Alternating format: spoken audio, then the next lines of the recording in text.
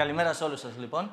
Είμαι ο Γιώργος Δημητριάδης, είμαι ο Διευθυντής Πληροφορικής του Διεθνούς Αερολιμένα Αθηνών και χαίρομαι που είμαι εδώ σήμερα. Ευχαριστώ πάρα πολύ για την πρόσκληση. Χαίρομαι που υπάρχει ένα τόσο μεγάλο ακροατήριο, γιατί θα σας πω ότι στην Αθήνα σύντομα θα έρθει το πρώτο αυτοκινούμενο αεροπλάνο.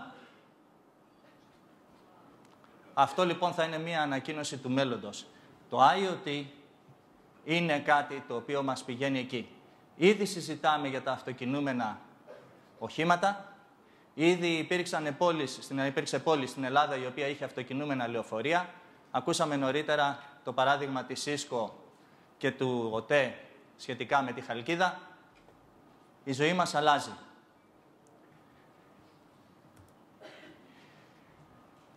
Η McKinsey λέει ότι σε όλα τα industries σιγά σιγά οι CEOs και οι υπεύθυνοι αρχίζουν και αναγνωρίζουν την ανάγκη του εναγκαλιστούν με μία λέξη η οποία είναι μαγική και η οποία δεν έχει αστεράκια και χρυσόσκονη, είναι η λέξη transformation, η λέξη μεταμόρφωση. Τι μεταμόρφωση ζούμε; Πρώτα απ' όλα μεταμορφώνεται ο τρόπος που ζούμε. Ήδη συζητάμε για έξυπνες πόλεις, ήδη συζητάμε για λύσεις οι οποίες μας βοηθούν να ελέγχουμε το σπίτι μας από μακριά, να βλέπουμε τι κάνουν τα παιδιά μας, να, το ψυγείο να πηγαίνει και να ψωνίζει μόνο του. Δεν ξέρω, εμένα η γυναίκα μου πάντως δεν το εγκρίνει αυτό, προτιμά να πηγαίνει στη λαϊκή μόνη της. Αλλά, εν πάση περιπτώσει, τα πράγματα αλλάζουν. Επίσης αλλάζει ο τρόπος με τον οποίο κατανοούμε.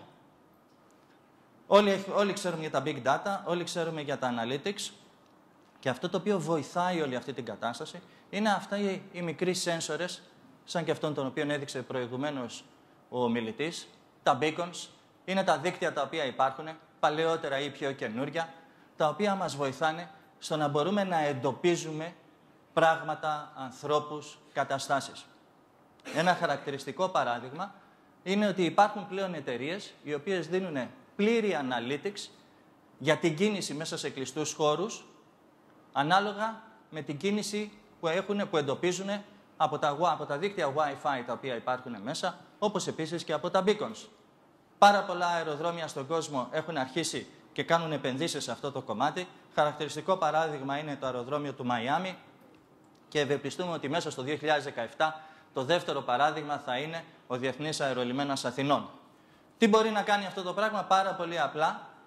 Βοηθάει το business πρώτα απ' όλα βοηθάει την ίδια την επιχείρηση.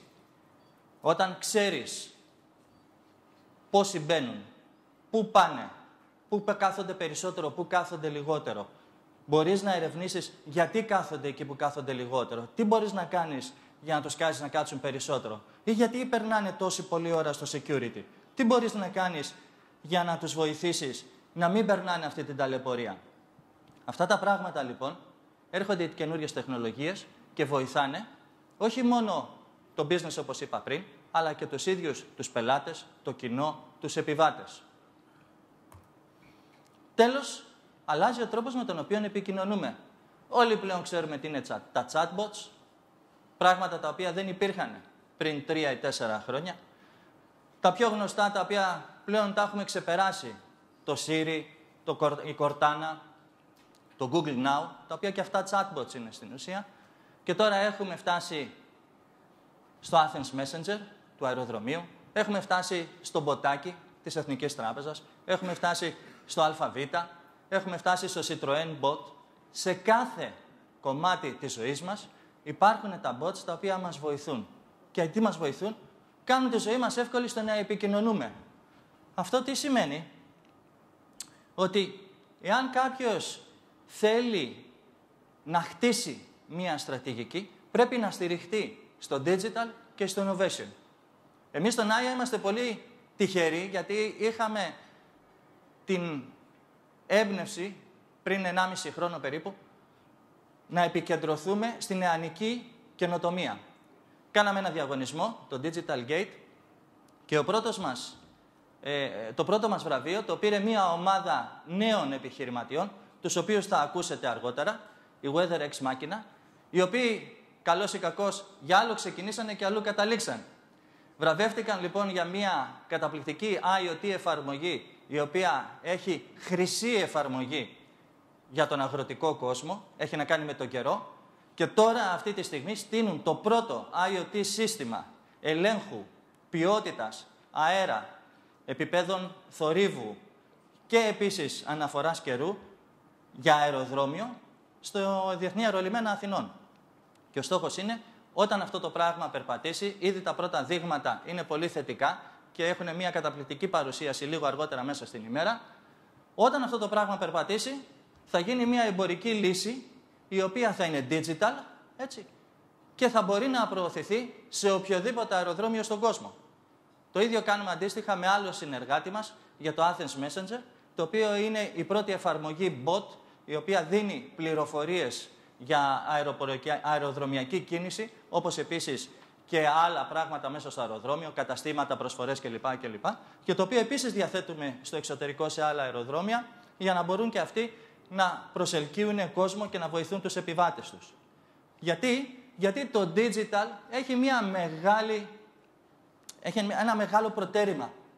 Φέρνει κοντά στις επιχειρήσεις ανθρώπους ή τμήματα πληθυσμών τα οποία οι επιχειρήσεις ποτέ πριν δεν πίστευαν ή δεν, ήξε, δεν πίστευαν ότι μπορούσαν να πιάσουν ή δεν ήξεραν καν ότι υπάρχουν. Έτσι λοιπόν, και για να το κλείσουμε, στον αερολιμένα συγκεκριμένα έχουμε κάποιες συγκεκριμένες δραστηριότητες τις οποίες θέλουμε να αναπτύξουμε μέσα στο 2017 με στόχο να κλείσει το 2017 και να έχουμε ήδη μία, κάποιες εγκαταστάσεις οι οποίες στηριζόμενες σε innovation τεχνολογία και σε Internet of Things να μπορούν να διευκολύνουν τους επιβάτες μας, δηλαδή όλους εσάς. Πώς θα προχωρήσουμε, πάρα πολύ απλά βασικά πράγματα είναι ότι θα έχουμε ολοκληρώσει το πώς, ποια είναι τα πλάνα τα οποία έχουμε, θα πάρουμε τις εγκρίσεις οι οποίες χρειάζονται και από εκεί και πέρα ξεκινάνε οι υλοποίησεις. Κάποιες από αυτές έχουν ήδη ξεκινήσει. Και τέλος, για να κλείσουμε, αυτή είναι η άποψη ενός αναλυτή από ένα αρκετά σοβαρό οίκο συμβούλων, όπου στην ουσία λέει ότι δεν πρέπει να είμαστε, δεν πρέπει να μειώνουμε τους εαυτούς μας σε κατώτερους ρόλους, αλλά θα πρέπει να γίνουμε συνέτεροι στο πώς θα φτιάξουμε ένα καλύτερο customer experience. Σας ευχαριστώ πάρα πολύ.